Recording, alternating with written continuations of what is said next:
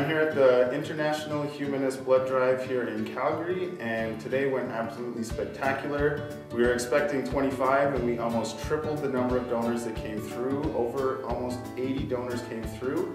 Everything went absolutely fantastic. The staff handled it well, the donors handled it well, and everybody seemed to have a wonderful time. All the nurses, everybody for a wonderful job. You saved a lot of lives today. A round of applause to all of.